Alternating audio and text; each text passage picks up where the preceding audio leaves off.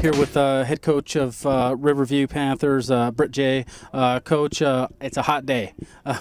if you can talk about the tournament, what it was like to gauge yourself against other opponents. Yeah, a lot of great opponents. Uh, you know, from the Tri City area, a great competition and quality reps. About six hours of quality reps. Yeah. So yeah, you know, we did well. We competed. Um, at, you know, at a high level, but average day for us. So. Coach, uh, tell me about some guys who might have stood out, and if you can, give me a, a, bit of a preview of what you guys might look like this year as compared to last year. Um, we're competitive. Uh, we we've got a, a, you know a lot of underclassmen that need to step up. We only have about three or four returning starters, so we have a lot of work to, to be done.